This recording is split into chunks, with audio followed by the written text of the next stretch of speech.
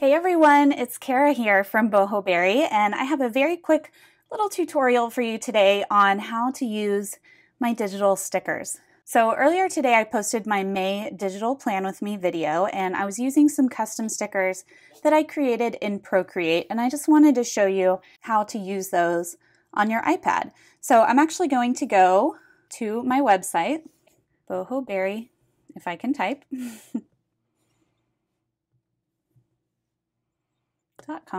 and I'm going to go to my tribe resource library and type in my password. And I'm going to scroll down to Digital Planner Cherry Blossoms. And if you're on your iPad, uh, all you have to do is press and hold, and you will see the option to either preview or download. So if you preview, it's going to show you everything that you're getting in this download. Uh, if you're on your laptop, you can simply hover over it and click. All right, so I'm going to go to download, and it's a zip file. And I'm going to hit open in and I'm going to copy to iZip. iZip is an app that allows you to unzip files on your iPad. So I'm going to copy it there. And yes, I would like to extract all files. All right, so I'm going to tap on that. Then I have all of my individual items in here. Here, and I can actually select each of my individual images here. So I'm just going to do one as an example, and I'm going to save it. You can save it to your photo library, or you can share, which is what I like to do, and save it to my files. Then it'll ask you where it belongs. So you can save it anywhere you like. So you'll do that with all of the items here, and then you will end up with a file folder on your iPad that looks like this. So first we have a Bohoberry Cherry Blossoms GoodNotes file. So this will allow you to open it up in GoodNotes and everything will already be cropped for you. Then you have the full sheets if you prefer that. These are transparent background images. And then you have all of the individual images as individual stickers. And then we also have a couple of Procreate brushes. So I'm actually going to go into GoodNotes and I'm going to show you how that GoodNotes file works. All right, so this is my sticker book and I actually want to go table of contents and I want to go to my spring page, which is where I'm going to be adding those in. All right, here we go.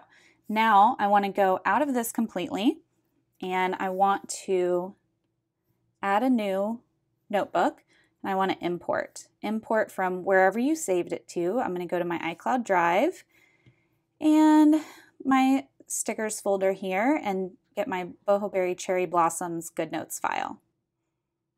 All right, so that's going to open up. And there we go. And you'll see if you try to lasso, these are all already individually cut for you. So I'm actually going to lasso this whole page. Since I want to keep all my stickers in the same sticker book, I'm going to hit copy, go back to my sticker book, tap and hold, and hit paste. And I'm going to resize these to fit this page. There we go. And there I have my new stickers in my sticker book and ready to use in GoodNotes. All right, the second thing that comes in your bundle is going to be some Procreate brushes. So let me just create a new layer here, turn all this off. And I'm going to use a black brush. And I already have these saved under Bohoberry Doodles. There's a cherry blossom and cherry blossom branch, but I'm going to show you how to import these into Procreate so that you can use them.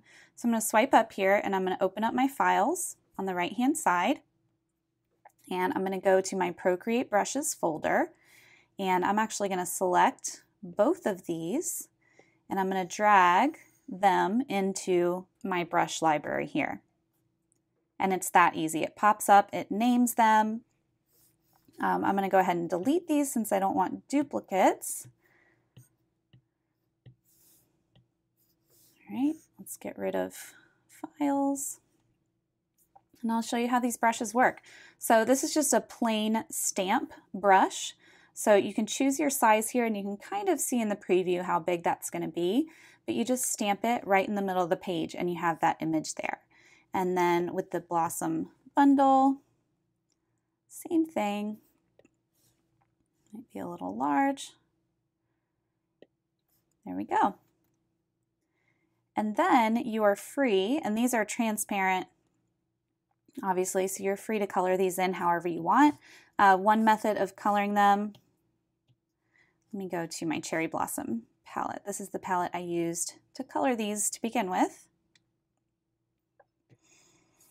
All right, so I'm going to take this lighter pink and let's zoom in here. You can just drag and drop the color into wherever you want to color things in. So I'm going to go with a green.